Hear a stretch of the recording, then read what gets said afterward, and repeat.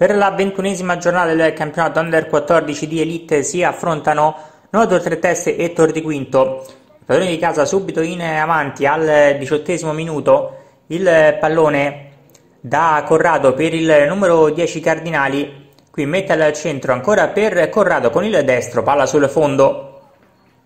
4 3 testi in avanti, sempre con Corrado che ruba un buon pallone, il cross al centro per Dato, colpo sicuro ma Perzotti è bravissimo a respingere. 4-3 teste al trentesimo con Volpe che fa tutto da solo, poi carica un gran destro, deviazione di Perzotti, palla sulla traversa e nulla di fatto per i padroni di casa, ma ancora 3 teste che pressa alto il pallone per Cardinali che fa tutto bene, si gira, poi alza troppo la mira con il pallone che termina alto sopra la traversa. Nel finale del primo tempo ancora 3 teste con Cardinali che mette al centro per Dato, Qui la respinta parte il difensore Menichini. Con l'immagine andiamo alla ripresa, sempre con Cardinali. Supera un avversario in velocità, poi ancora un dribbling poi è bravo Perzotti con il piede a deviare. 4-3 teste in avanti qui con Dato, corsia di destra.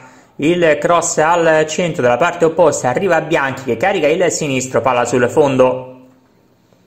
Al 25 Calcio di punizione da parte di Zitelli, il pallone batte sulla traversa, poi torna per Gulisano che mette dentro da pochi passi, il direttore di gara però annulla.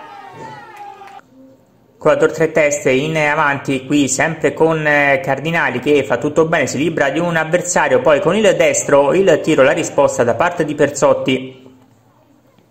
4-3 teste sui sviluppi di un fallo laterale, il pallone sempre per Gulisano, qui ancora bravo l'estremo difensore del Tor di Quinto a deviare in calcio d'angolo nel finale ci prova ancora la squadra di casa qui con Metale con il, la deviazione da parte di Gian Siracusa il numero 14 del Tor di Quinto e poi nel finale colpo di testa di Cuccione palla sulla parte alta della traversa ma è questa l'ultima emozione del match con il triplice fisco dell'arbitro e lo 0-0 che non si schioda